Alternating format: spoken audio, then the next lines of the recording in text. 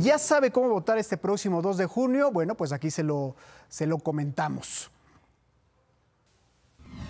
El próximo 2 de junio vamos a votar por senadores, diputados y presidente de la República.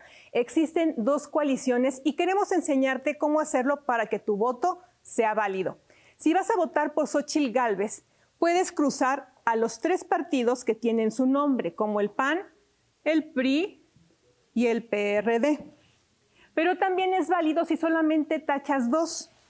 En este caso, en el ejemplo, ponemos al PRI y al PRD o solamente a un solo partido político, que podría ser en este caso el PRD. Las tres maneras son válidas.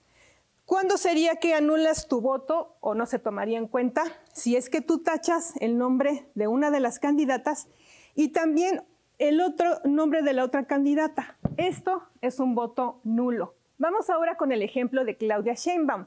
También puedes votar por los tres partidos que llevan su nombre, por el Partido Verde, por el Partido del Trabajo o por Morena, que está por aquí abajo.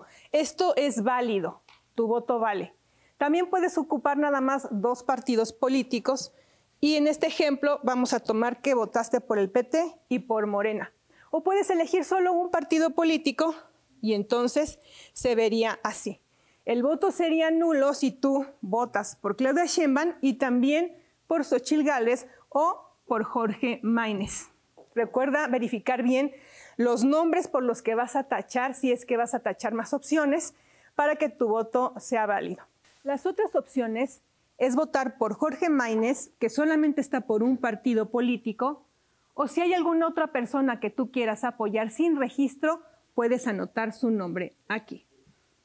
Si tú quieres premiar con dinero y con el registro a los tres partidos que apoyan a Xochil Gálvez, puedes votar por los tres.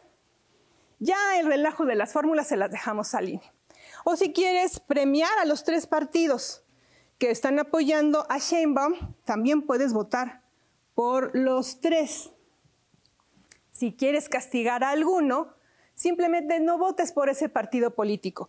Déjalo en blanco, no le van a dar votos para su registro y tampoco dinero de financiamiento público. Infórmate y vota el próximo 2 de junio. Para imagen, Aurora Cepeda. Bueno, pues ahí tiene la, la explicación de mi compañera Aurora Cepeda.